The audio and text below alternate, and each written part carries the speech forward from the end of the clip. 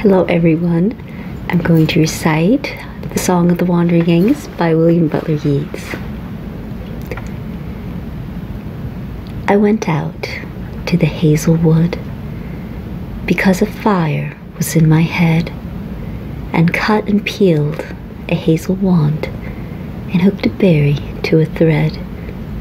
And when white moths were on the wing and moth like stars were flickering out, I dropped a berry in a stream and caught a little silver trout. When I had laid it on the floor, I went to blow the fire flame, but something rustled on the floor, and someone called me by my name.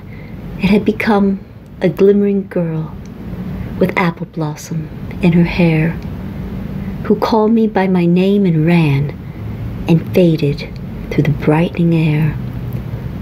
Though I'm old with wandering through hollow lands and hilly lands, I will find out where she is gone and kiss her lips and take her hands and walk among long dappled grass and pluck till time and times are done the silver apples of the moon, the golden apples of the sun.